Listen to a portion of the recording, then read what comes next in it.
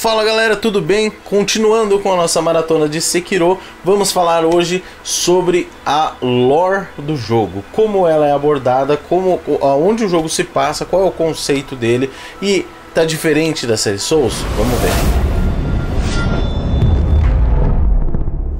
começar tentando introduzir vocês, pelo menos, aonde o jogo tá e o início do plot dele. Sekiro se passa no Japão feudal na época, no final da era Sengoku. A guerra tá acabando e nessa fase só sobraram os destroços. Tudo que você vai ver ali é o que restou depois da guerra. De acordo com os desenvolvedores, eles escolheram esse período e não outro que eu esqueci agora o nome, que é um pouco mais famoso, porque esse período é muito mais medieval, ele se encaixa muito mais na temática que eles estão acostumados a abordar e acreditaram que seria bem mais interessante nesse período. Porque a outra era, que infelizmente eu esqueci o nome, ela mostra mais o, Japão florescendo, se reerguendo.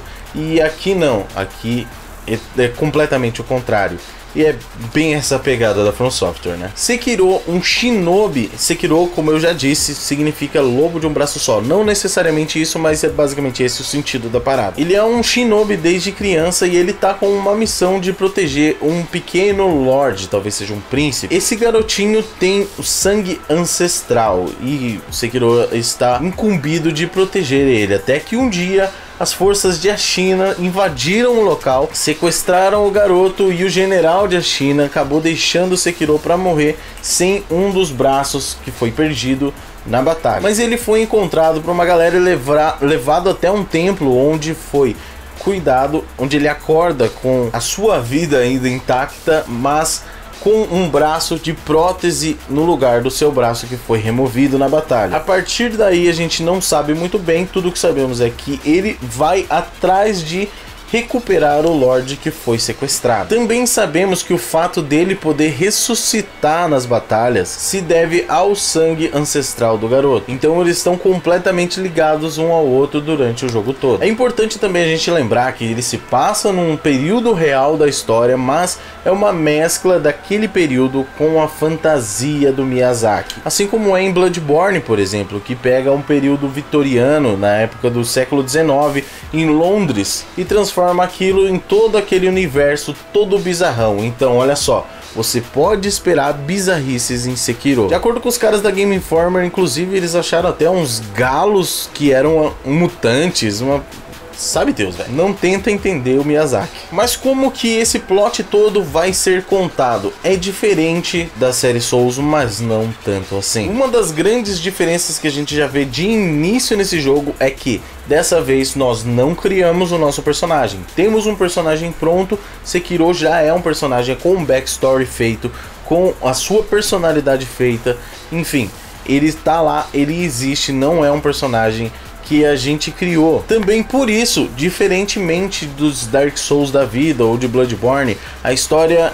não se trata de como era antes. Antes, a história abordava a história daquele mundo, daquele lugar. Nós éramos apenas uma peça que fazia tudo se mover. Agora é diferente. A história é sobre o Sekiro, é sobre o nosso personagem. A história está com foco em um lugar diferente. Ela também gira bastante em torno do relacionamento entre o Sekiro e o garoto. Esse lance do sangue do garoto que mantém ele vivo e tal. Eu não sei exatamente, não tem informação sobre isso, mas foi isso que disseram. Outro ponto interessante da gente falar aqui é que o tempo no Japão não é bagunçado. Galera que assiste as lores entendeu a referência. Não tem nada de toda aquele, aquela bagunça temporal e bidimensional do, do Dark Souls, multidimensional se você for pensar. O jogo foca no presente, tendo alguns flashbacks, como a memória que a gente citou no primeiro vídeo, mas focado naquilo que está acontecendo naquele momento. Então vai ser provavelmente um pouco mais fácil da gente se encontrar ali naquele contexto. Outra coisa que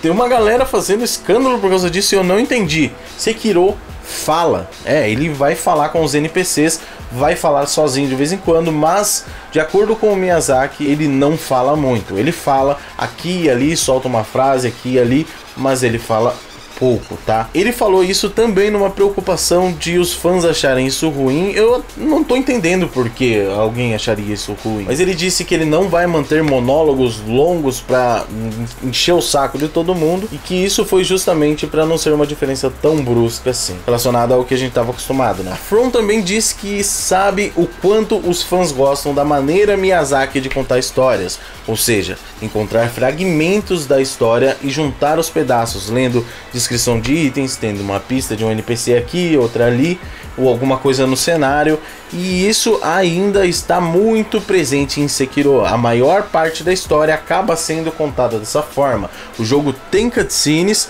aqui e ali, mas não são muitas, são poucas cutscenes. Tem os diálogos agora, pelo menos o Sekiro fala com os NPCs, então é um diálogo e não um monólogo como sempre foi. Mas a descrição dos itens, os, as pistas que sempre tiveram nos jogos da série Souls estarão lá justamente porque eles sabem que a gente gosta. Agora, uma última coisa sobre as diferenças do plot aqui nesse jogo é que dessa vez, e isso me dá um pouquinho de medo, não é só o Miyazaki que está fazendo a lore. O que acontece é que ele tinha ideias, falava as ideias para a equipe e ele falava do jeito dele faltando informação. A equipe interpretava do jeito deles e voltava com a informação para ele, ele aprovava. Então ele meio que deu uma brincada nesse lance da lore, que eu não sei como que isso vai chegar pra gente. Pra ele foi interessante, mas pra gente eu não sei, porque ele tinha uma ideia, às vezes a interpretação das pessoas era completamente diferente e ele acabou deixando assim. Ele disse que isso foi muito interessante porque ele conseguia ver as maneiras diferentes de, de interpretar aquilo que ele queria. Que ele achou muito legal ver as pessoas dando a sua própria interpretação para aquela parada que ele tinha criado. Então, ele junto com a equipe toda que construíram a Lorde Sekiro, tá bom? E tá, sobre construir e interpretar as coisas, tem um pouco a ver com isso as builds do jogo. Como é que vai ser esse negócio? Agora a gente não tem mais atributos, não tem mais como upar o nosso. Como que a gente vai customizar o nosso personagem e a nossa maneira de jogar? Vamos ver isso no próximo vídeo? Então, a gente se vê lá. Até!